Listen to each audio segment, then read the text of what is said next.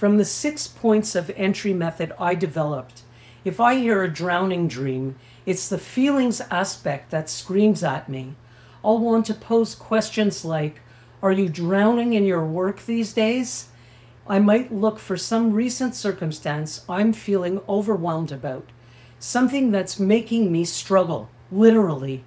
Since we humans have a habit of holding in whatever it is that's making us feel anxious or overwhelmed, a drowning dream can be a sure way for your healthy unconscious mind to help push you to speak. After all, you find yourself drowning. The question that pulls up right after you is Are you calling for help? It's fascinating how a dream will create a scenario in which you're almost forced to scream out. Because once that first step, being vocal, is done, the rest comes easier after your dream has provided a rehearsal for you.